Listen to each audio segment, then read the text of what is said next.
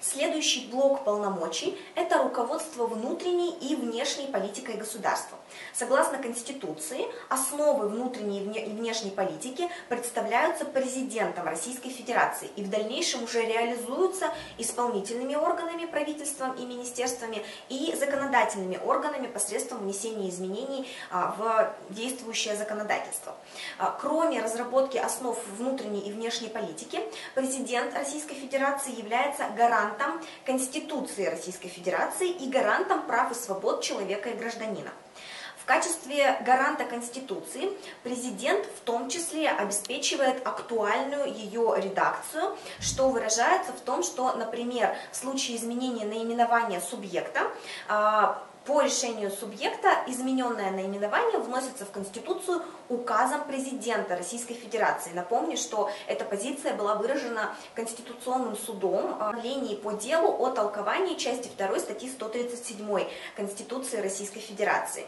А, в качестве гаранта прав и свобод человека и гражданина президент а, обладает разными контрольными полномочиями, а, которые реализует непосредственно администрация президента и контролирует обеспечение и реализацию прав человека в России. Кроме того, у президента есть непосредственные полномочия, связанные с регулированием статуса а, человека и гражданина в Российской Федерации. Что делает президент в этой сфере? Во-первых, осуществляет помилование, во-вторых, награждает государственными наградами Российской Федерации.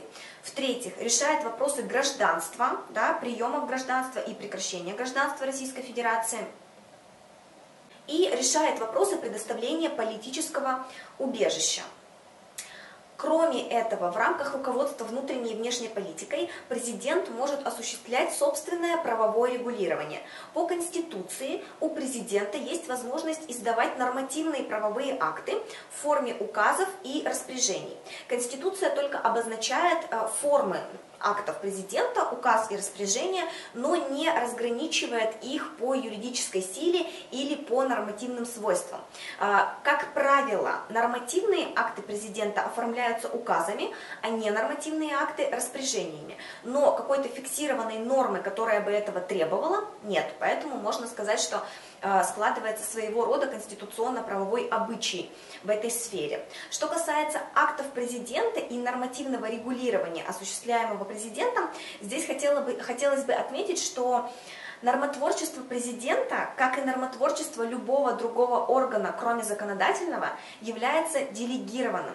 То есть президент должен издавать свои нормативные акты в случаях, предусмотренных законами а не э, в любом случае, когда ему этого захочется.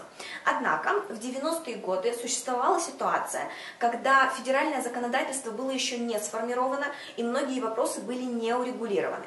И первый президент Российской Федерации Борис Николаевич Ельцин своими указами считал необходимым восполнять пробелы в правовом регулировании, которые были им выявлены. Сложилась ситуация, когда э, существовало так называемое указное право. Президент своими указами регулировал очень большой спектр вопросов, в том числе наиболее важных вопросов для общества и государства, которые должны быть урегулированы федеральными законами. Такая ситуация сложилась и в чеченском деле, а, которое было рассмотрено Конституционным судом Российской Федерации, и в постановлении по чеченскому делу Конституционный суд признал за президентом право восполнять пробелы в случае их наличия, в случае отсутствия федерального закона по тому или иному предмету регулирования. Но в настоящее время, хотелось бы отметить, а, когда федеральное законодательство достаточно развито и практически все вопросы урегулированы федеральными законами, а, президент осуществляет правовое регулирование только в тех случаях, когда это предусмотрено законом и в рамках своих полномочий, не вторгаясь в компетенцию законодателя.